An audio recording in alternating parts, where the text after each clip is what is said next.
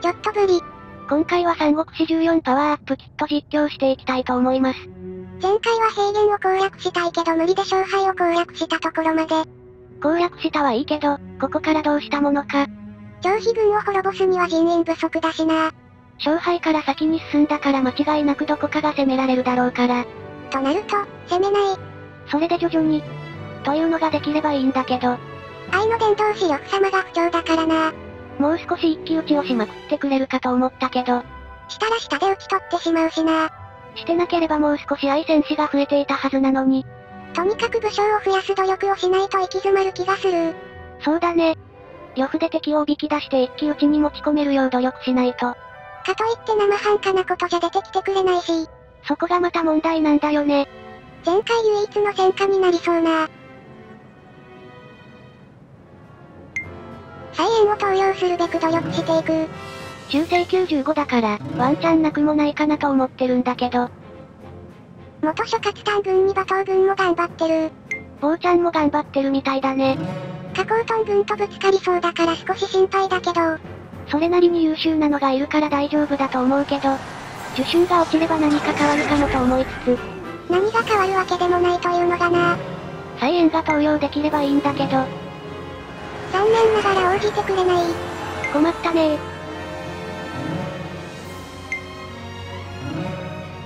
呂布より張飛の方がいいと。陸村軍が北海を攻めてる。平原が手薄になっているね。これ、北海攻撃に失敗して壊滅したら、そうだね、平原攻略が見えてくるかも。孫作軍が邪魔しなければだけど。頑張ってるけど無理。呂布さんは通りすがりの砲数を攻撃中。一騎打ちを仕掛ければうちにも知力100軍師が来るかも。仕掛けるわけもなく普通に撃破。さらに捕まえる。意味もないよ。さらに菜園に逃げられる。言葉がないね。陸村軍は北海まであと少しというところだけど。反転したな。孫作軍が早すぎたね。攻撃してから攻めてくれればいいものを。名品と交換するか。1万円だから勝ち25いけるんじゃない？いけるかな？いけた捕虜と名品交換はありかも。価値が低い捕虜だとダメだけどな。ほぼ無傷での撤退か。平原攻略してくれるだけならありな攻撃なんだけど。投石台壊してくれたのは嬉しかな。地味に邪魔だったんだよね。そして、陸村たちが帰還して、殲滅するところを見せようかと思わせて慶州戦線兵。これ、劉備軍は当該軍と同盟を結んでるわけじゃないんだよね。なんで無駄に長工場で戦ってるんだか。劉備軍が勝ってるんだけど、ほんと意味不明な戦いだよ。そして、曹操様が高価で独立。この人は何やってんの？処断されればいいのに。こうなると孔明軍が攻め時かな。孔明は欲しいけど、孔明以外に高月英しか手に入らないんだよね。あとは愛の伝道活動次第か。愛の伝道活動が期待薄な今、なかなか他を攻める気が起きないんだよね。一番は陸村軍だもんな。攻略できれば結構な数の愛戦士を仲間にできるはずだから。ここで加工トン軍に坊ちゃんが攻められてた。3万いるし、歩も占領されてないから迎撃すれば問題ないと思うけど。そうなんだよな。けど、迎撃することなく。滅亡。何やってんの？ナメプなのか、もう諦めムードだったのか。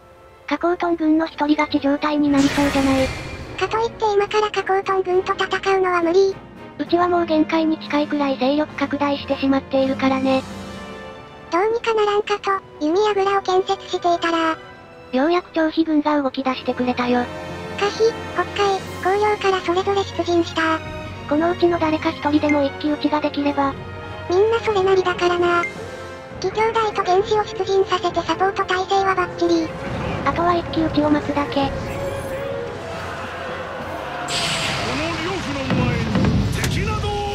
こっちじゃない。接触直後に戦法とかね。普通ならありがたいんだけど、今はそうじゃない。9番に酵素が吹き飛んだよ。せっかくのチャンスが。この状況で陸村軍が北海を攻めた。この攻撃が成功するか、失敗するか、どちらにせよ兵を減らしてくれれば。陸村軍を滅ぼせる可能性が出てくる。なんとしても撃破しないと。そうすればチャンスはあるけど。平原に1万、9000。北海から来たら移動と収支をきちんと引きつけて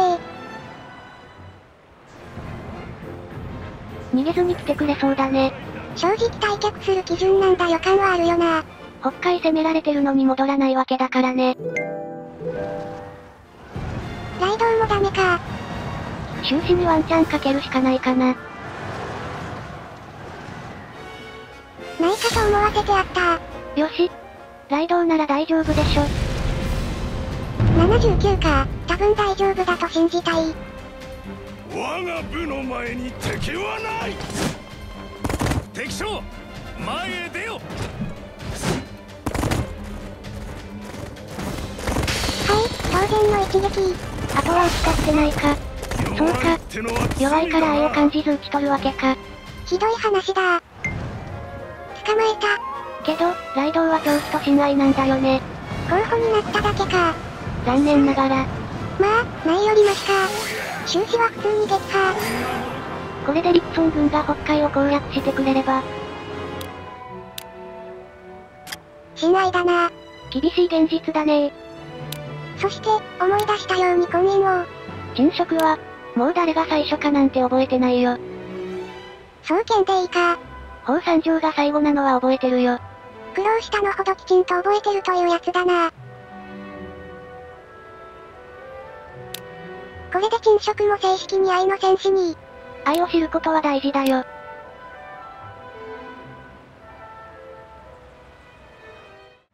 次は海越を、加工令女と婚姻させる。内政要員だから活躍の機会があまりないかもだけど、内政で頑張るのも愛の戦士の仕事を。ここで孫作軍が結構ガチめな構成に出た。これは期待できるかな。攻略されたら困るけど、そこそこ弱らせてくれたら助かる。徴兵を1万程度に減らしてくれれば嬉しいんだけど。あ、ライドウさんなんでどうでもいいです。修正は下がってるけど可能性はないからな。感触剥がされての強制低下かもだし。孫作軍の平原攻撃は、案の定ボロボロな感じ。下遊と関羽が戻ってこなければいけた気もするけど、戻ってきたらもう終わりだよね。とここで、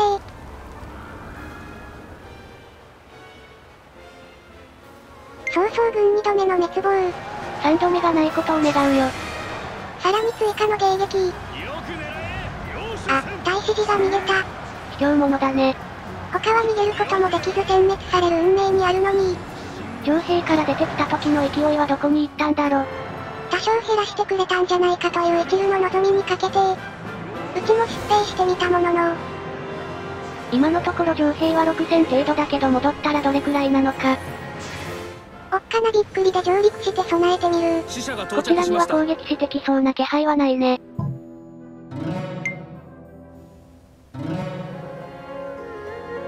すんごい勢いで計略仕掛けられてる。後で苦労するのは自分たちなのにね。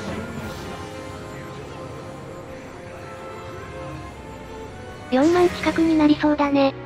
いろいろ考えた結果、壊滅して兵を失うわけにはいかないので撤退することにしたよ。間髪入れずに追撃してきやがった。こういう時は動きが早いねさらに孫作軍が牧羊に攻めてきやがった。あれくらい全力の攻めを陸孫軍にやれと、ほんと、うちに対する時は殺意がかなり高いから、来たら来たで殲滅してやったけどな。陸孫軍も引き上げたね。ここに来てまた戦略転換が求められた。どうしようか悩んだけど、もう気合と根性で張飛軍を滅ぼすことにしたよ。陸孫軍は無理ってことだな。上陸後になんとかできる気がしないから、水分強化のない厳しさよ。再度入れ替えをして、勝敗から可否を目指す。陸孫軍は北海攻撃だね。攻略できたら戦力分散するから助かるけど、何にせよ、張飛軍の戦力がそがれればよしだよ。ここで受信に動きが、総称が出陣した。何狙いかな野戦だから、うちの下飛攻撃部隊の迎撃だろうな。紅葉に退却してた情報たちも可否に来やがった。ほんと動きがいいね総称は弓やぐらで足止め荒れてればいい。あ。土地占領で補給線が切れたし、ただ、果敢持ちだからそのまま帰られそうな気がするよ。兵が減らないのは嫌すぎるな。そして、呂布が燃えてる。隙を見せない二段構えで混乱したので一時下がるよ。とここで迎撃だ家計の力逃げなんとかなるか。任サイト応援でなんとかなると信じたいところだよ。さらに先方で能力向上。よし、これで迎撃成功は確定だね。地味に孫権が活躍するシリーズになりそうな予感。こんなに孫権を活用したことが今までなかったからね。まあ、普通は君主だし、育った孫悟プレイはないしな。戦場での舞も心得ていますこれで迎撃部隊は殲滅。さあ、可否攻略に取り掛かろうか。地味に陸孫軍が北海を攻略してた。さらに河北は荒れそうな雰囲気があるね。友禅軍がまだ頑張ってる驚き。うちはサクッと可否を攻略しますか。徴兵9000程度なら瞬殺だと思うけど、背負っているものの重みが違うわ活躍しまくる孫権さん。このヒゲはいいヒゲだね。悪いヒゲの時もあるからな。そして、10日かからずに可否攻略。よし、これで超飛軍の都市はあと2つ。ここからが厳しいけど、やるしかないよ。期待できない捕虜は、祭司がいる。そうか。装飾も愛戦士だったんだね。これはありがたいな。装飾ともどもお迎えしたいところだね。他は知らない人ばかり。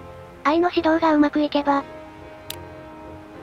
というわけで、かなり厳しい道だけど超飛軍を滅ぼすことにしたところで今回がここまで。ご視聴ありがとうございました。